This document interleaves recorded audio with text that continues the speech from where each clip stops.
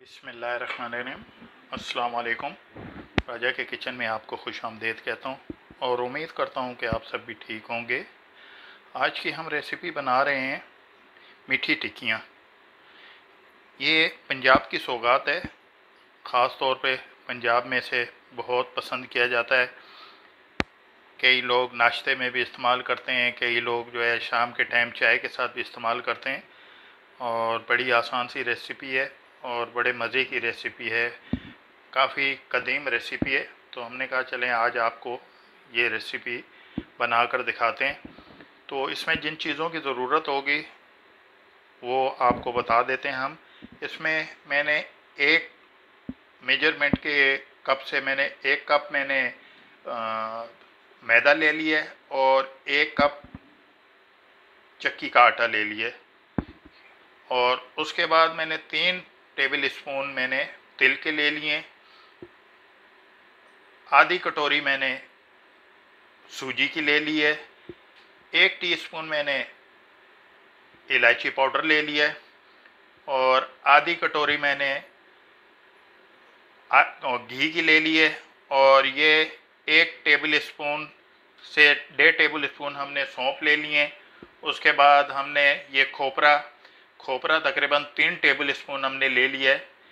और ये एक कप हमने शक्कर को पीस लिया है। और उसके बाद ये एक कप हमने दूध लिया है। दूध की जितनी मकदार चाहिए होगी, उसके मुताबिक हम वो इस्तेमाल करेंगे। और यही मेज़रमेंट कप है। इससे हमने सब चीज़ों को जो है नाप करके लिए तो चलिए शुरू करते हैं। ये हमने आटा ले लिया और ये आटे को हम दोनों आटों को मिक्स कर लेंगे और उसमें ये शक्कर शामिल कर देंगे। शक्कर आप अपने जायके के मुताबिक ले सकते हैं। उसके बाद सूजी, हमने ये सूजी भी मिक्स कर दी। तिल हैं, तिल भी इसमें शामिल कर दें। और उसके बाद ये इलायची पाउडर है, ये आपने शामिल कर दिया। और ये कोकोनट पाउडर ये शामिल कर दिया। इसे अब अच्छी तरह से मिक्स कर लें। और साथ में इसमें हम ये सौंप, ये भी शामिल कर देंगे। इनसे अच्छा जायका बन जाता है और अच्छी खुशबू टिक्कियों में आती है। इस सबको हम अच्छी तरह से हमने मिक्स कर लिया। अब इसमें हम ये घी डाल देंगे।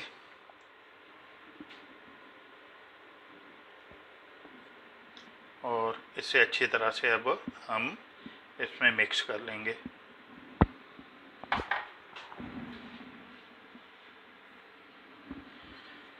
ये देखिए जी, अच्छी तरह से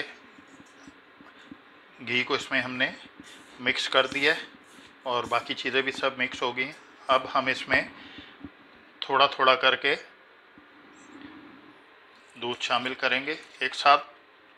दूध ना डालिएगा, क्योंकि फिर अगर इसकी मकदार ज़्यादा हो जाए तो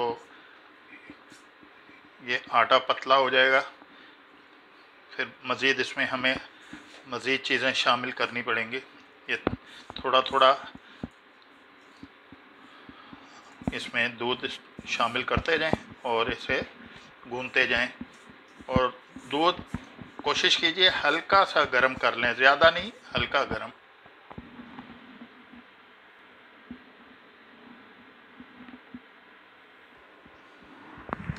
ये देखिए जी, हमने आटा गूंद लिया है और तकरीबन ये इसमें हमारे दूध बच गया है, आधे कप से थोड़ा सा कम। इसीलिए थोड़ा थोड़ा करके इसमें शामिल करें ताकि ज़्यादा पतला ना हो जाए आटा और ये आपने आटा इस तरह रोटी पकाते हैं, उस तरह भी इसे नहीं बनाना है, ये थोड़ा सा उससे सख्त होगा। तो लिहाजा ये आटा अब हमने रेडी कर दिया अब इसे हम आधे घंटे के लिए या एक घंटे के लिए इसे इसी तरह छोड़ देंगे और इसे ढक कर रख देंगे। फिर उसके बाद आपको बताते हैं हम। ये देखिए जी, आटा आपका तैयार है। अब इसे हम जिस तरह रोटी बेली जाती है, इस तरह से बेल लेंगे।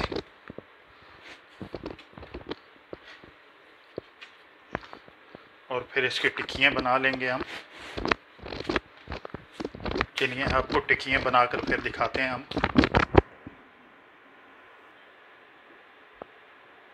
ये देखिए जी, हमने इसे बेल लिया है और आप इस तरह से एक गिलास ले लीजिएगा और उसकी मदद से टिक्कियाँ फिर बनाना ताकि सब टिक्की फिर एक ही साइज़ की बनेंगी।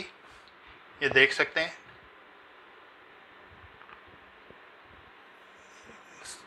तमाम टिक्कियों का शेप एक जैसे ही आएगा।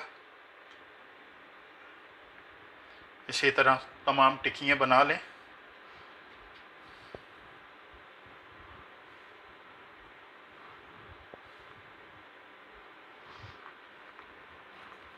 देखें कितना प्यारा शेप आ रहा है। ये देखिए, अब इस तरह से साइड से ये बाकी का आटा आप निकाल लें। और इसे एक जगह इकट्ठा करके फिर इसकी मज़ीद हम टिक्कियाँ बना लेंगे। देखिए कितना प्यारा शेप आया है। देख सकते हैं आप। ये गिलास की मदद से बनाया जाए तो बहुत अच्छा शेप इसका। तमाम टिक्कियों का एक जैसा शेप आपको मिलेगा।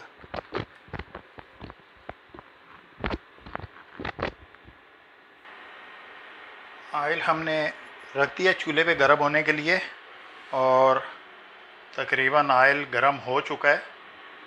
चलिए डाल के देखते हैं टिक्की को। बिल्कुल जी, हमने पहले इसे आयल को तेज़ आँच पे रखा, फिर इसे हमने मीडियम आँच पे कर दिया ताकि टिक्कियाँ जले ना। एक एक करके आप टिक्की डालते जाएँ, आराम से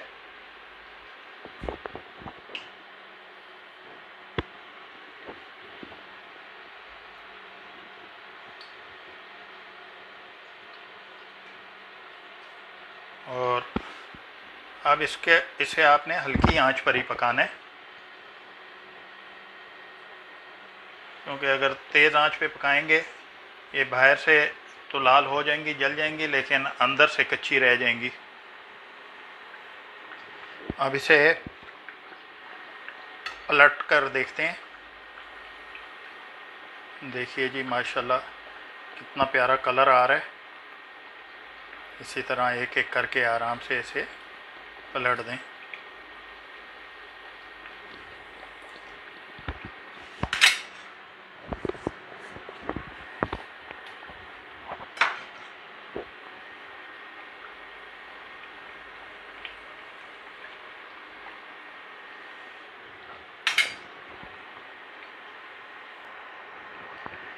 देखिए जी, कितना प्यारा कलर आया है।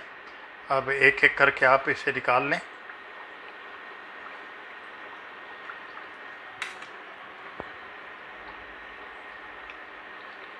देख सकते हैं आप।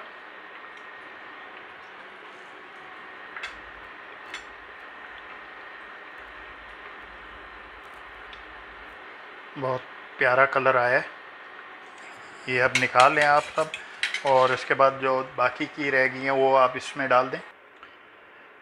ये लीजिए जी, ये तमाम टिक्कियाँ तैयार हो चुकी हैं, और आप देख सकते हैं लुक वाइज भी आप देख सकते हैं। आपको नज़र आ रही होंगी और बड़ी मज़े की रेसिपी है और बड़े अच्छी बनी है ये। बिल्कुल खस्ता किस्म की रेसिपी ये देखें। बिल्कुल खस्ता है और अंदर से नरम है ये। तो लिहाजा इसे ज़रूर बनाएँ और दूसरों को इसका लिंक ज़रूर शेयर करें ताकि जिन बहन भाइयों ने सब्सक्राइब नहीं किया, वो भी सब्सक्राइब कर लें। लाइक करना ना बोलें और इन नेक्स्ट टाइम एक नई रेसिपी के साथ फिर हाजिर होंगे राजा के किचन में। अब इजाज़त चाहता हूँ, अपना ख्याल रखिएगा और दुआओं में याद रखिएगा। अल्लाह हाफिज़।